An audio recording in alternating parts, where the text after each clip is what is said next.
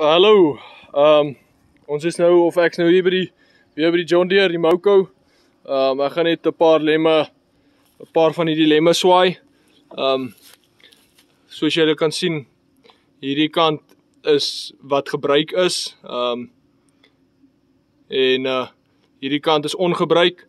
So ek gaan basies net hierdie ding omdraai en uh ja, hoe dit werk is dit is nou hierdie gat hierso uh hier onder hierdie bout moet bo oor hom kom. So en dan draai ek hierdie moer uit kom die bout uit en dan kan ek net hierdie lem uithaal en en omdraai.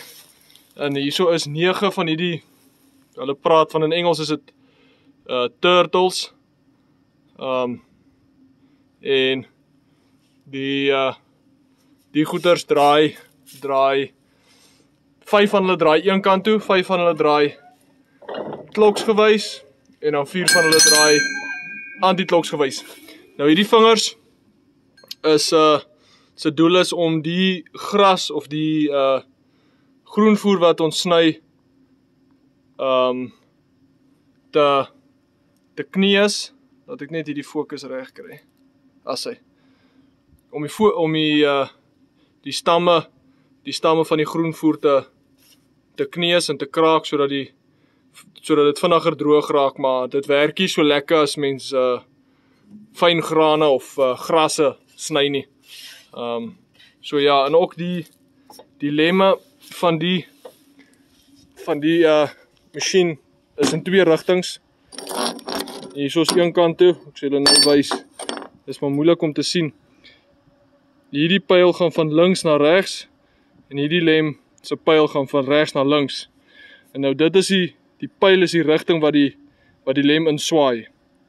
So hy hierdie lem sal dan nou so omswaai die hele tyd.